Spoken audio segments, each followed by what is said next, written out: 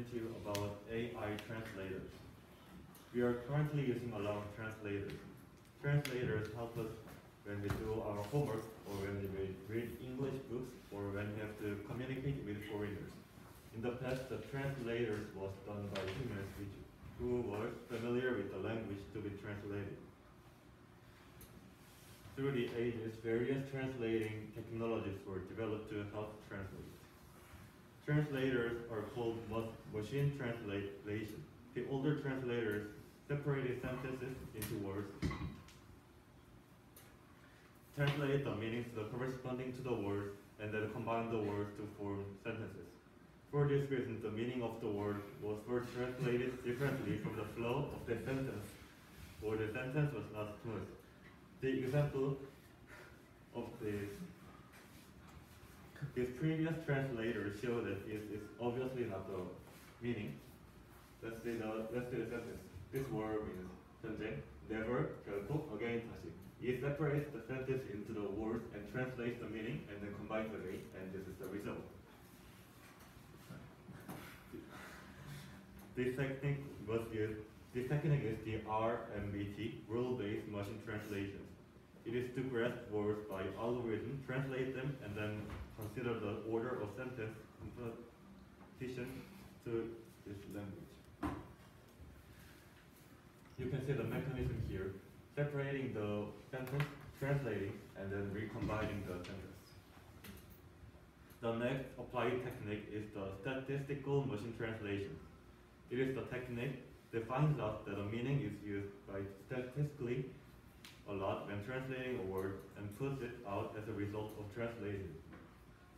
In case of you, it has the meaning 당신, you, 아, 당신, 너, 그래. Statistically, 당신 is used the most, so it translates you as 당신. Currently, NMT, neural network machine translations, is, is technology that used widely now. Unlike the previous two techniques, which used to identify sentences in terms of words, the similarities between the two sentences were identified and studied, and when similar sentences are subsequently produced, the translation is provided using the learning data.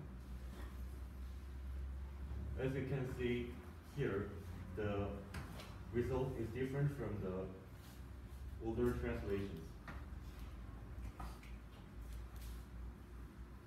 It is different, and uh, these famous translations became better. Suppose there is a solid space. First, put the word 먹다 in the space. Near it, there are words related to 먹다, such as 먹었다, 먹을 거다, and 먹고 싶다.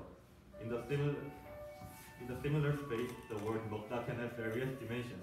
Depending on this dimension, you can relate the we can relate to their words. For example, words that can be used in mukda, such as food names, chicken, pizza, and cake, can also have their own relationship with the word Mokta and be located in the space.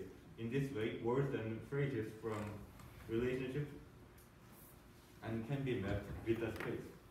The vector value of the word is called the word representation. Words used in translations are converted into 200 dimensional word represented values.